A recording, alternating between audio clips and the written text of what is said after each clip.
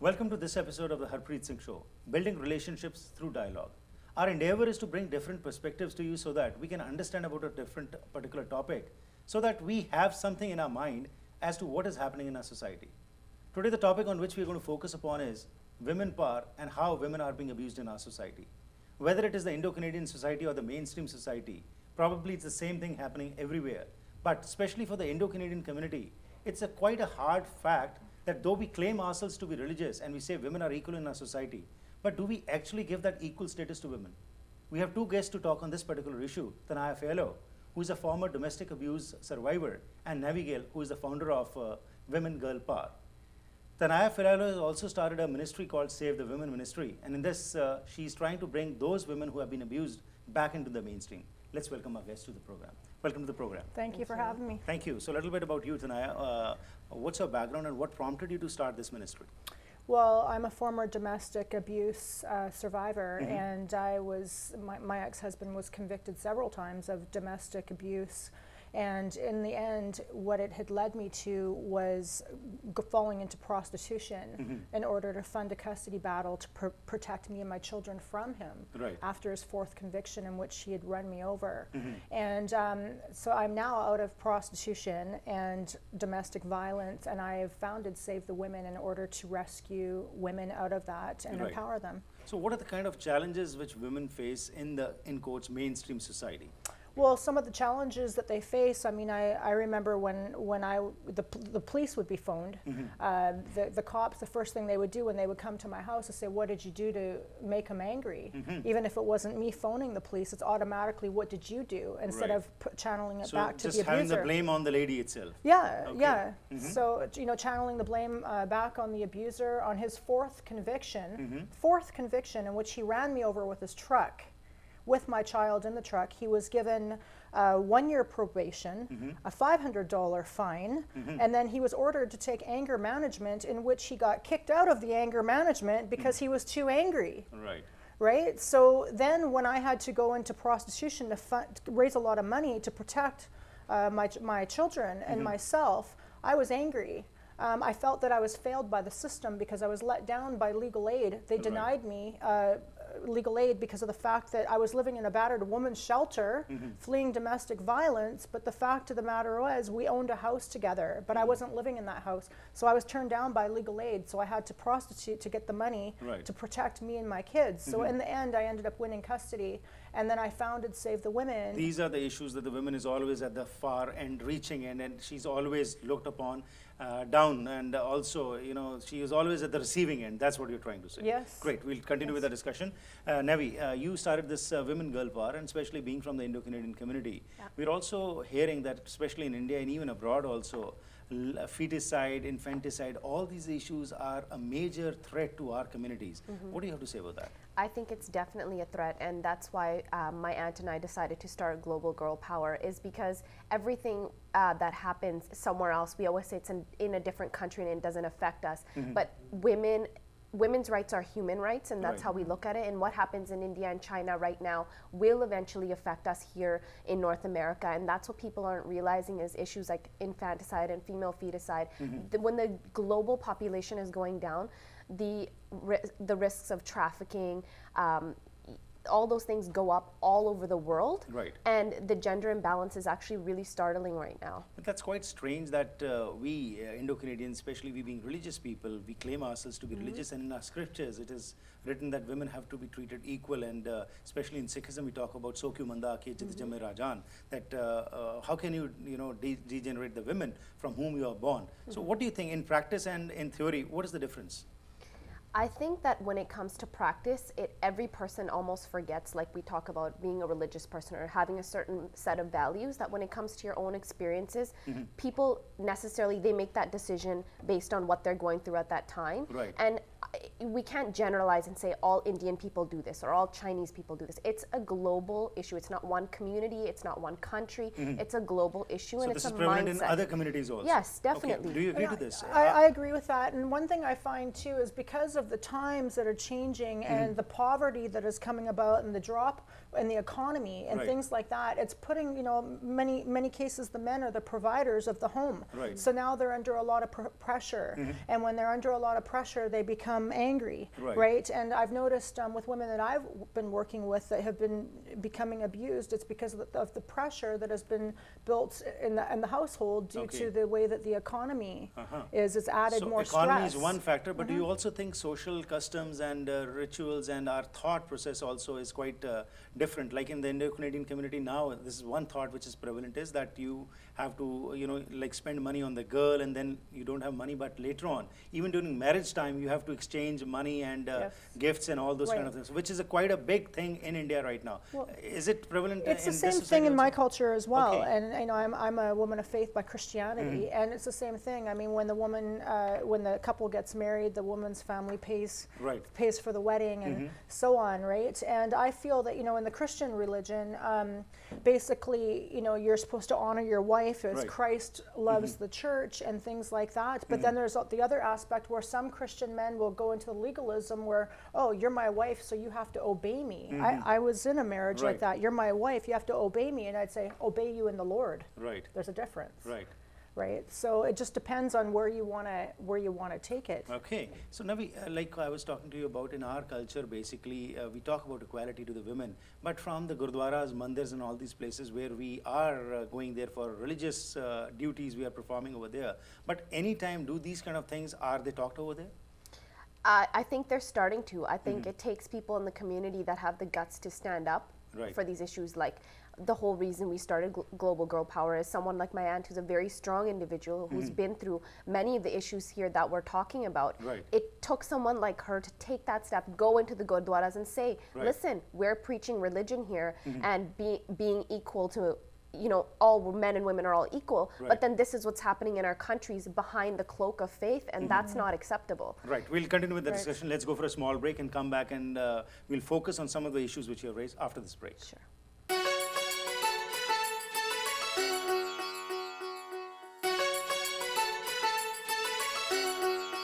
Once again, welcome back to the Harpreet Singh Show, building relationships through dialogue. Today is we are talking about a very important issue, and we need all to be aware that this is a major, serious crisis. But are we ready to listen and act upon it? Let's talk about this issue. So before the break, like you were talking, that this has started, and that was the idea behind you coming forward and starting this organization. But the question that arises is that in these places where we go for uh, religious purposes, uh, do you think that this kind of awareness is over there? For example, we talk about the Sokyu Manda Akijit Jame Rajan, but even at the Golden Temple also, women are not allowed to do kirtan over there. Women are not allowed to do some services over there. Even as a matter of fact, in other uh, religions also, same is the thing. Lip service is there, but in practice it's not happening. For which uh, there's a lot of uh, you know people are getting antagonized. They want to do something, but nothing is happening because the clergy is so strong. They don't want things to be removed. So how do you think and look into this issue? I mean, I can't go and change hundreds of years of what our customs, but what we can do, which is what I think people like myself and she's doing here, is mm-hmm. just creating the, that awareness. So the people that are here now Right. go forward with that seed in their mind that it's a possibility for change, and that's mm-hmm. all it takes is when you give somebody an idea, change is definitely possible. Mm-hmm. And I mean, I don't know what we can do about things like you know women doing kirtan at the Golden Temple, but why not? Right. I feel like people need to change with the times. Yes, this was maybe a custom in Guru Nanak's time or whenever, but these the times have changed, But and it's quite strange that Guru. Nanak was the first person who's talked about equality and he gave that kind of status to both men and equal Yeah. status women. But again, that that's what is quite strange that uh, this religion which was started for a different purpose, it's absolutely going against the tenets of what was being taught. Definitely, and I think that's we've talked about this before Mm-hmm. as well of uh, what the difference is between religion now and religion when it was created, Right. and over the years, people have really begun to use it for their own, serving their own purpose, Mm-hmm. Right. and not looking behind why these customs are in place. It's just a way for them to serve their own purpose, and Right. that's why the people who are following these religions, you need to dig deeper, understand why it is you're following what you're following, and what's Mm-hmm. The purpose behind that. And if the purpose doesn't agree with you, say something about it. Right. So come and stand and Come speak and of this. stand. If Right. no I one think it, I think Right, it comes Tanaya. down to you know having somewhat of a moral compass as Mm-hmm. well. It's not about being feministic or anything like that. Women still need to be subdued in areas and be the women, right? But we also want to empower women to say Mm-hmm. That no, abuse will not be tolerated Mm-hmm. because the statistics show that two thirds of the children that Mm-hmm. are raised by domestic abuse or in domestic abuse uh, abusive homes. Be, we end up repeating the cycle and doing the same thing, Ah. Right. and that was the case in my my situation. Mm-hmm. My mother was abused by my father, Mm-hmm. so I ended up marrying a man that was just like my father, and I repeated the cycle of abuse, and it pa- gets passed on from generation to generation. And Right. uh, in that, when you when you've been a domestic abuse uh, survivor, in a lot of cases, women can fall prey to drug addiction because they self-medicate the pain. Right. Right. So what does that say for our future generations? Right. Absolutely, and but you had that uh, quality. Uh, faith uh, was a major mover in your life, though you Yes. Adopted a different path in life. But then you turned back, and now that's why you're running this ministry to bring awareness amongst uh, those uh, disturbed ladies that come back. There is a ray of hope. Now, Yes. again, as I talked about the clergy with Navi, uh, what is your feeling uh, in your society? Are you accepted? Are the women accepted now, or still you are still considered to be that? No, you have to be like you mentioned that kind of uh, you know stereotype thinking which exists. No, I feel that uh, you know, in, in my religion, in, in Christianity, uh, you know, you're you're supposed to uplift your wife. Right. and you know, it's it's a quite similar to the Sikh religion. Right. Um, however, um, there are scriptures in the Bible that you know talks about how a woman should submit to her husband, and some men will take that scripture and they'll run with it. Mm-hmm. Right. However, it says to, a, a woman should su- submit to her husband unto the Lord. Mm-hmm. Right. So if your husband is telling you to do something that is not godly, you don't have to submit to him Mm-hmm. Right. right? But I, I've had men say that to their to their wife. Well, Right. you have to submit to Because me it's written over there. because it's written. But you Right. got to you got to take, you know, you can't take it out of context. Right. Yes. So, a question that arises now is that uh, as this uh, world is advancing and people are having different thoughts, but again, when it comes to women, still that uh, stereotype thinking still exists that uh, man, uh, women was made for man, and the man is the Lord, and he has or she has to submit to him. Now, what do you think? Is this changing right now in the new generation which is coming? No doubt we are finding lots of independence which is coming, which is good to some extent. But also we are finding that this independence is also leading, especially the youngsters, to other extreme ends also. What is your viewpoint on this? I think what everybody needs to understand is first and foremost, we're all human beings, Mm-hmm. regardless of man, women, whatever country you come from. And it's just about treating the other person with respect. Mm-hmm. Right. And I think that also comes with learning that in your homes. Mm-hmm. And if you've learned that, like she said, if it depends on what you've seen in your home. Right. I've grown up in a home where I was always given a voice and I was always given the opportunity to speak. Right. So that's carried me through in life. And it's not necessarily we say it's the men that are always the abusers. It's also women abusing other women, Oh, which yeah. I found is a huge issue these days. Well, again, as you have pointed out this factor, and especially in our culture, it is the women, that is the mother-in-law or the sister-in-law, or that is what it comes forward, Mm. and uh, lots of problems arise from there. Yeah, and I wouldn't say it's necessarily always the Well, again, of That's course, generalized, of course. a misconception, which it, it, has, it has been fed to my generation Right. from our previous generation. So now we have a fear against mother-in-law, daughter-in-law relationships, which Right. also is incorrect. Right. And again, I'll go back to that. It's about respecting the person that you're around, Mm-hmm. and then you'll receive that respect back. And if you don't feel that, stand up for yourself and speak out. Right. But, But what about the women that stand up for themselves and they speak out and then they get beat? I mean, Yeah. I had a situation. Mm-hmm. I was course. working with a woman and a This is what woman. my next question would have been, Okay. basically, which I would like to discuss in details after this break. Sure. But uh, because this is a major issue, if women come forward, and especially those women who are living single, it's a major issue, and especially in our culture, how they are looked upon. We would like to talk on this particular Mm-hmm. issue after this break.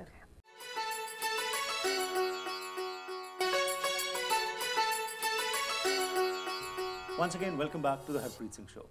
What we are focusing upon today is very important we need to discuss in our homes also. Like Navi and uh, Tanaya are talking about the issues which need to be discussed at home. This should be a constant kind of reminder to us that we need to deliberate upon these issues. But are we ready to discuss these issues at home? Let's further talk on this issue. So before the break, like you were mentioning, and Tanaya, you just jumped in and we were talking. So what, what did you want to say that uh, uh, when we talk about the women, again, it's all general terms. Of course, there are good and bad apples everywhere. Yes. But overall, what we are finding in the society, as I said uh, to Navi also, that our children need independence, our girls need independence. But again, to some extent, when it goes to too much extreme, then egos clash and then families cannot prosper further. Well, I, I mean, I've come across some women, and obviously, because I'm, I'm all about women's empowerment, I speak publicly internationally about Mm-hmm. Right. this. So I, I come across a lot of women that, in my opinion, are very feministic. Right. And it's almost like they want to wear the pants, they Mm-hmm. want to be the man. And I think that a, a woman should be a woman, a man should be a man, but a Right. Mm-hmm. woman also needs to know her rights and the aspect that abuse will not be tolerated. You cannot lay your fingers on me, you cannot abuse me, and if you do, hopefully you will go to jail Mm-hmm. Right. right? So I, I'm I firmly believe that a woman, you know, should still be be the woman and be Right. be submissive in a womanly way, Right. but not submissive in an abusive Right. way. What is your opinion on this? um, I don't think submissive is the right word. I think we each have our roles, like she said, which I agree with, and it all comes down to respect. Like Right. for me, um, you know, when I think about the future and being married, it's it's not that I'm gonna go ahead and be like I'm better than you. I wear the pants. I make the decisions. I Mm-hmm. Think it needs to be equal Right. because I feel like I like I was saying I'm raised in a household where I get to make my own decisions. I'm very independent. So are my siblings, and I think it's just respecting and giving the person the the rights to make their own decisions Right. Right. and I agree. also yes women should know their rights that's where it's Mm-hmm. we're always especially in our culture we're given our duties of what Right. Mm-hmm. we c- should be doing or how a woman should behave but no one ever takes the time to tell you this is your right, Right. Mm-hmm. as a human being 1st Right. and abuse on all forms is not tolerated to anybody Uh-huh. And I found, yeah. uh, Harpreet, from my personal experience as a domestic abuse survivor, I, I have had my abuse be so severe where my husband has urinated on me, defecated on me, uh, broken bones in me, run me over. Right. Okay, but in all honesty, even though there was a lot of physical abuse, Right. the stuff that affected me years down the road and gave me a lot of post trauma was the mental Yeah, abuse absolutely, and the constant uh, tearing down of my my demeanor Mm-hmm, and and just uh, basically breaking of my spirit. Right. That's what it is. Absolutely. That emotional uh, disturbance which you have to face after this is much, much more traumatic. Now, again, as I was asking before, that uh, after marriage, first of all, uh, understanding was the basic uh, concept by which our families used to be running for a long time. But what right now we are finding, as I raised this issue, that uh, that individualistic approach which is coming, no doubt, as I said, women empowerment has to be there, but to a limited extent, whereby that ego doesn't clash. And that is a major, uh, you know, clash between new weds uh, now. What we are finding. So, how do you feel that can be addressed? Because in our community right now, divorce rates which were unheard of before are coming forward, which is absolutely like what is happening in the mainstream. So, what do you have to say about that? I think first and foremost, everyone needs to really work on their communication skills. I'm a Mm-hmm. firm believer that when you put egos aside and really communicate what the issue at hand is Right. Mm-hmm. and let go of all the fluff, it it's possible to solve any problems and Right. sitting down at the table i remember growing up as a kid everybody ate dinner together and those sort of values we've lost along the way Mm-hmm. Right. So, what do you th- feel is your solution to that, though? Like, okay, get rid of the fluff and all Yeah. that, but what do you think is the solution for us as a society to move forward? I think it's just basically like my generation needs to not just completely be gung ho on our beliefs because mm-hmm. we do get caught up on that because we are very independent. Right. And the older generation is still on on their whatever they have grown up with, Right. which is almost completely opposite of we mm-hmm. have. I think there needs to be a middle ground where both need to understand each mm-hmm. other but move forward and look at what the solution is that's going to solve the problem immediately rather than I find there's always a lot of he said, she said, this Right. So, the lack of communication Lack is one of reason. communication, but, uh, but Still, that, what is how- the solution? Yeah, we'll, uh, Yeah. we'll talk about it from your perspective, how do you feel? But along with that, you know, after marriage, what I discussed this issue, Yeah. that uh, the interference from the family of the girl's side, Mm-hmm. especially in our culture, how, how, how important is that and what do you feel about that? Because the thought process of that culture is, or that generation is different from your. So Mm-hmm. Yeah. that interference also time, uh, creates problems? Um, I think I, I wouldn't call it interference. Like I, I come from a family where it, we're very open on both sides. So when I go ahead and get married, I feel like you're one big family, Right. and there's no such thing as interference. You Right. are one big family. If one person has an issue, issue. It should be everybody's Uh-huh. issue there, and right. addressed together. Right. That's the point of family. Great. So, Tanaya, towards the end, uh, what do you feel? What is the solution? What we have talked, how to go about? Because uh, you are going all across the world, talking to people, meeting people, meeting ladies, men, all. So, Right. what do you feel in a few sentences how we can have a consensus on this particular issue? Well, I think it's um, you know a lot of it. There's, I could go on about this for hours, Mm-hmm. Harpreet, right? But to me, a lot of it is where is women in today's society? Where are they getting their identity? Right. Right. I mean, I see so many girls that are out there and they've got their their fingernails, their long hair extensions, their Mm-hmm. push-up bras, and their breasts hanging out and stuff, and they're getting their identity Right. all in this. But where's the identity in spirit, there? absolutely. Right? Where is Nobody's it in talking there? about it. Yeah, you know, and I, I the women I work with, I, I say co- cover up Mm-hmm. because you need to like with me, I get my identity in my in my faith in Right. Jesus Christ. I don't need to go and put it right. put it out there. So I think it, it's um, a matter of you know letting society know that you know as women we're better than that. We're not just. The Absolutely. shell of the Not woman. just a be materialistic a thing, absolutely. Yes. So that has to be propagated. To be a woman inside, not Absolutely just great. Thank you very much. And uh, what do you feel like glamorization and how the women also are coming forward, uh, as she mentioned, towards then? What do you have to say?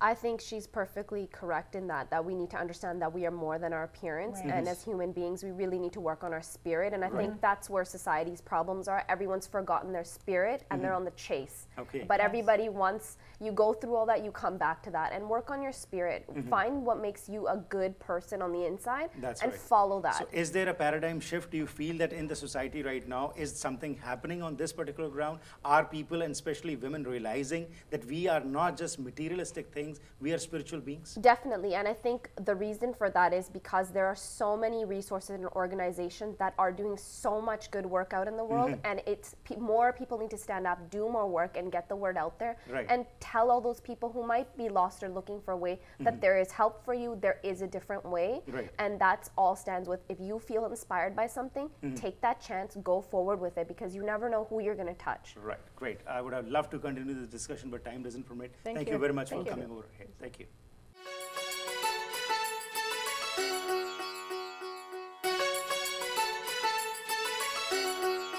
ਅੱਜ ਦਾ issue ਜਿਹੜਾ ਤੁਹਾਡੇ ਸਾਹਮਣੇ ਲੈ ਕੇ ਆਏ, ਇਸ ਬਾਰੇ ਸਾਰੇ ਹੀ ਚਿੰਤਤ ਹਨ ਅੰਗਰੇਜ਼ੀ ਵਿੱਚ ਜਿਹੜੀ ਅਸੀਂ ਗੱਲਬਾਤ ਕੀਤੀ ਕਿਉਂਕਿ ਸਾਡੇ ਇੱਕ ਮਹਿਮਾਨ ਜਿਹੜੇ ਸਿਰਫ ਇੰਗਲਿਸ਼ ਹੀ ਬੋਲਦੇ ਨੇ, ਉਸ ਕਰਕੇ ਅਸੀਂ ਇੰਗਲਿਸ਼ ਵਿੱਚ ਡਿਸਕਸ਼ਨ ਕੀਤੀ ਮਕਸਦ ਇਹੀ ਸੀ ਕਿ ਪਤਾ ਚੱਲ ਸਕੇ ਕਿ ਅੱਜ ਔਮਨ ਇੰਪਾਵਰਮੈਂਟ ਦੀ ਜਿਹੜੀ ਅਸੀਂ ਗੱਲ ਕਰ ਰਹੇ ਹਾਂ, ਉਹ ਹੈ ਕੀ ਹੈ ਅੱਜ ਬੜੇ ਸ਼ਰਮ ਦੀ ਗੱਲ ਹੈਗੀ ਕਿ ਦੁਨੀਆ ਭਰ ਦੇ ਵਿੱਚ ਔਰਤ ਨੂੰ ਜਿਸ ਨਜ਼ਰ ਨਾਲ ਦੇਖਿਆ ਜਾ ਰਿਹਾ ਹੈ, ਹਰ ਇੱਕ ਧਰਮ ਵਿੱਚ ਔਰਤ ਨੂੰ ਦਰਜਾ ਦਿੱਤਾ ਗਿਆ ਉੱਚਾ ਲੇਕਿਨ ਅਫਸੋਸ ਕਿ ਅਸੀਂ ਸਿਰਫ ਲਿਪ ਸਰਵਿਸ ਕਰ ਦਿੰਦੇ ਹਾਂ ਬਟ ਪ੍ਰੈਕਟੀਕਲ ਤੌਰ ਦੇ ਉੱਤੇ ਅਸੀਂ ਬਹੁਤ ਪਿੱਛੇ ਹੋ ਗਏ।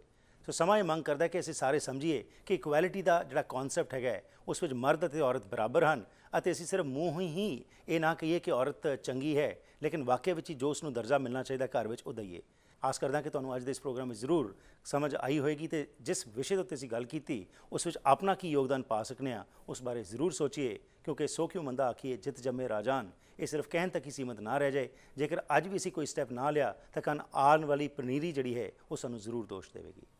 ਆਪ ਸਭ ਦਾ ਪ੍ਰੋਗਰਾਮ ਵਿੱਚ ਸ਼ਾਮਲ ਹੋਣ ਲਈ ਧੰਨਵਾਦ। ਫਿਰ ਮੁਲਾਕਾਤ ਕਰਾਂਗੇ। ਤਦ ਤੱਕ ਗੁੱਡ ਬਾਏ